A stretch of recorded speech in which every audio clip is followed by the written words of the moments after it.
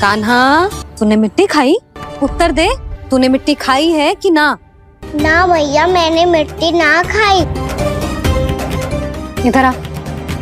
तो फिर मुँह खोल के दिखा दे अपनी मैया को। हम्म, कान्हा मुँह खोल। मुँह खोल लल्ला।